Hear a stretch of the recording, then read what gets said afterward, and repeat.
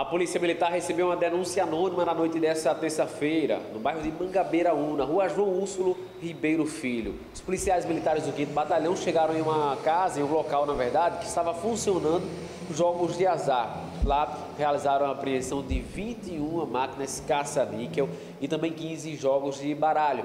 Além de tudo, o proprietário do estabelecimento foi trazido aqui para a central de polícia. Foi apresentado à delegada Lídia Veloso, que estava no plantão na delegacia de flagrantes. Todo o material que foi apreendido, esses 15 eh, jogos de baralho também as 21 máquinas caça-níquel também foram trazidos aqui para a central de polícia. E agora estão à disposição de fato da Polícia Civil, é quem apura de fato todo eh, esse o material apreendido e toda a forma que era utilizado também em Mangabeira. A gente sabe que a lei né, diverge contra o uso desses aparelhos, né, por isso que as pessoas denunciaram e a polícia foi até o local para realizar esta apreensão.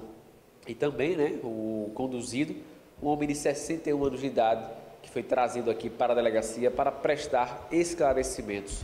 Processo investigativo acerca deste fato continua e qualquer coisa a população, o pessoal que está em casa, é importante saber e ressaltar para vocês que a polícia está em parceria com a população para receber qualquer tipo de denúncia, inclusive esse tipo de denúncia também. O 90 é o disque denúncia da Polícia Militar e o 197 é o disque denúncia da Polícia Civil.